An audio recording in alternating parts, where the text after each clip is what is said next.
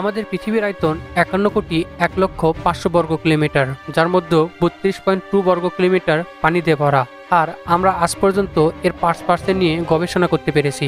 অনেক বিজ্ঞানী মনে করেন, এত বড় সমুদ্রে এলিয়ানের প্রজাতি থাকতে পারে, যাদের আজ পর্যন্ত খুঁজে পায়নি তাহলে আমরা সমুদ্রের ওই পাঁচ পার্সেন্টের মধ্যে কি কি খুঁজে পেয়েছি? মারিয়ানা ট্রেন্স, যেটা কিনা সমুদ্রের সবচেয়ে গভীর জায়গা, যেখানে আজ পর্যন্ত কেবল তিনজন লোকই যেতে পেরেছে। ওই মিশনের আগে তারা ভেবেছিল সমুদ্রের এত গভীরে কোনো জীব থাকতে পারে না। কিন্তু তারা সমুদ্রের গভীরে গিয়ে জীবন্ত প্রাণীদের দেখে পুরো অবাক হয়ে গিয়েছিলেন। তো সমুদ্রের গভীরে আসলে কি কি থাকতে পারে? চলুন সেটা জানা যাক।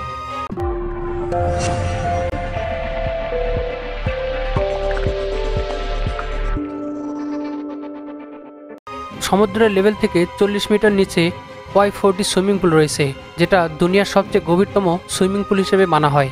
ছেষট্টি পয়েন্ট পাঁচ মিটার নিচে Italian under water cyclist Victorian Innocent দুই হাজার আট ডিপেস্ট আন্ডার ওয়াটার সাইকেল্যান্ডের রেকর্ড তৈরি করা হয়েছিল। যখন আমরা সমুদ্রের তিয়াত্তর মিটার নিচে যাব, তখন আমরা সেখানে কুতুব মিনার ও তাজমহলকে উল্টো করে দেখতে পারব। তার থেকে আরও বিশ মিটার নিচে, অর্থাৎ তিরানব্বই মিটারে আমরা এম আর লুইস্টেনের ধ্বংসবিশেষ দেখতে পারব, যেটা উনিশশো পনেরো সালে জার্মান সাবমেরিন থেকে ধ্বংস করা হয়েছিল। একশো মিটার নিচে ডিপেস্ট আন্ডার ওয়াটার ওয়েডিং এর রেকর্ড রয়েছে। যেটা থাইল্যান্ডে দুই হাজার তেরো সালে হয়েছিল। আরও চল্লিশ মিটার নিচে আর এম এস কাথাফিয়ান অবশিষ্ট ধ্বংসবিশেষ দেখতে পাওয়া যাবে, যেটা টাইটানিকের রিসার্চ করতে গিয়ে জানা গিয়েছিল। আবার দুশো মিটার নিচে ড্রাইভিং এর রেকর্ড রয়েছে, যেটা হার্টবার্ট নামক এক ড্রাইভার মাত্র এক নিঃশ্বাস নিয়ে করেছিল তিনশো বত্রিশ মিটার নিচে ক্রুবার ড্রাইভিং এর রেকর্ড রয়েছে, যেটা আহমেদ গেবার নামের একজন করেছিল। আরও চুয়াত্তর মিটার নিচে সুইপার লেকের ডিপেস পয়েন্ট দেখতে পাওয়া যাবে। পাঁচশো মিটার নিচে দুনিয়ার সবচেয়ে বড় প্রাণী নীলতিমিদের এলাকা। পাঁচশো পঁয়ত্রিশ মিটার গভীরে পেঙ্গুইন দেখতে পাওয়া যাবে। আটশো মিটার নিচে সমুদ্রের গভীরতা উল্টো ব্রুজ খলিফা ববার দেখা যায়। নয়শো মিটার নিচে আপনি জয়েন্ট ক্রুজ দেখতে পারবেন।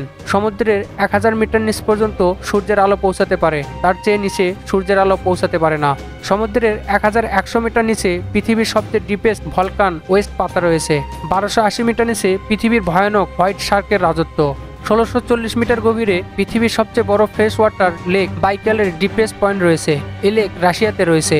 আঠারোশো আঠাশ মিটার গভীরে গ্র্যান্ড ক্যানিয়নের ডিপেস্ট পয়েন্ট রয়েছে। দুই হাজার দুইশো পঞ্চাশ মিটার নিচে আপনি শর্মা ওয়েল দেখতে পারবেন। তিন হাজার আটশো মিটার গভীরে আর এম এস টাইটনিক ডুবন্ত অবস্থায় দেখতে পারবেন। তিন হাজার নয়শো মিটার গভীরে এয়ারবাস আঠারোশো তিরিশের ব্ল্যাক বক্স দেখতে পারবেন, যা দুই হাজার নয় সালে আটলান্টিক মহাসাগরে ক্রাশ হয়েছিল।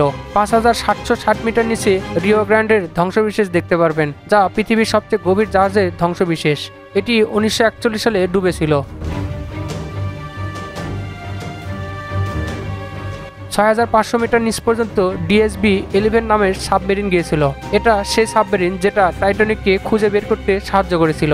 আট হাজার একশো পঞ্চাশ মিটার নিচে সেলফ ফ্রেশ দেখতে পাওয়া যায়, আর এটাই সবচেয়ে লিমিট, যেখানে পর্যন্ত জীবন্ত প্রাণীদের দেখতে পাওয়া যায়। আট হাজার আটশো মিটার নিচে গভীরতা মাউন্ট এভারেস্টের সমতুল্য হবে। আর দশ হাজার আটশো আটানব্বই মিটার নিচ পর্যন্ত টাইটানিক মুভির নির্মাতা জেমস ক্যামেরন পৌঁছেছিল।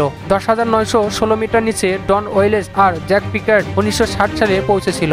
আর এর চেয়ে গভীরতা আজ পর্যন্ত কেউ পৌঁছায়নি। দশ হাজার নয়শো চৌরানব্বই মিটার নিচে মেরিনা ট্রেঞ্জের ডিপেস্ট পয়েন্ট রয়েছে, যার নাম হচ্ছে চেঞ্জার দ্বীপ, যা গোয়াম আইল্যান্ড এর তিনশো মিটার সাউথ ওয়েস্টে অবস্থিত। আমাদের এটা বলা উচিত নয় যে আমরা মাত্র পাঁচ পার্সেন্ট সমুদ্রের গবেষণা করতে পেরেছি। হতে পারে ভবিষ্যতে মারিয়ান ট্রেঞ্জের থেকেও গভীর কোনো পয়েন্ট আমরা খুঁজে পাবো। কারণ উনিশশো সাতানব্বই সালে সিরিয়ানা দ্বীপকে উদ্ঘাটন করা হয়েছিল। তার গভীরতা দশ হাজার সাতশো বত্রিশ মিটার। আর এটা সমুদ্রের আরেকটি ডিপেস্ট পয়েন্ট। তো আপনার কি মনে হয়, মারিয়ানা ট্রেঞ্জের চেয়ে ডিপেস্ট পয়েন্ট কি আমরা ভবিষ্যতে খুঁজে পাবো? আপনার মতামত কমেন্ট করে জানান। আর যদি ভিডিওটি ভালো লেগে থাকে, অবশ্যই লাইক দিন এবং আপনি যদি রহস্যবেদ চ্যানেলে নতুন হয়ে থাকেন, তাহলে অবশ্যই চ্যানেলটি সাবস্ক্রাইব করে পাশের বেল আইকনটি ক্লিক করে দিন।